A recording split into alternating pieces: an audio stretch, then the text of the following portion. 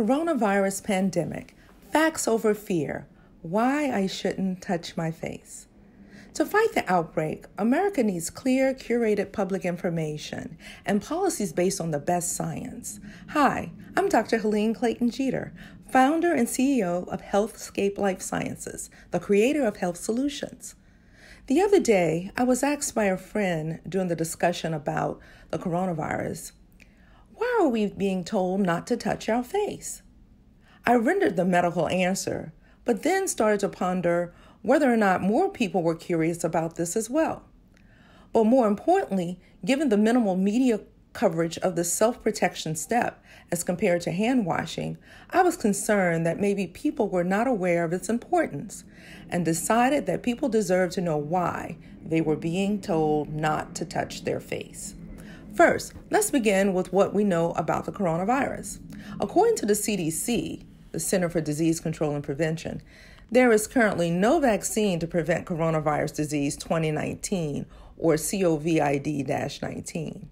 Best way to prevent illness is to avoid being directly, person to person, or indirectly, environment to person, exposed to the virus. The viruses start to spread mainly from person to person between people who are in close contact with one another within about six feet, through respiratory droplets produced when an infected person coughs or sneezes. These droplets can land on environmental surfaces, on the hands and the mouths or noses of people who are nearby, or possibly be inhaled into the lungs. Why keep your hands from your face? The coronavirus is thought to be able to enter the body via breaks in the skin or through mucous membranes, the thin, moist lining of your mouth, nose, and eyes.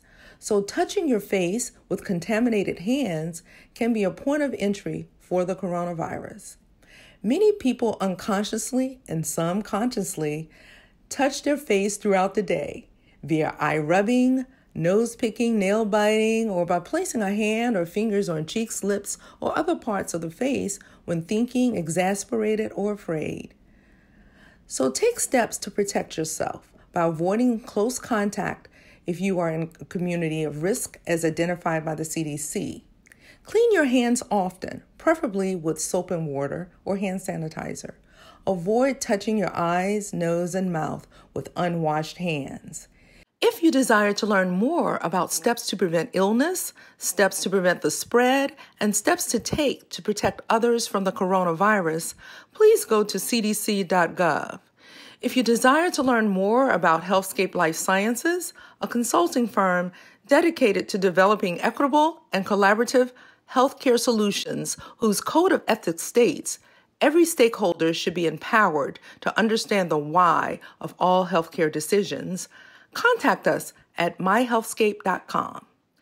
This concludes Coronavirus Pandemic Facts Over Fear Why I Should Not Touch My Face. Thank you.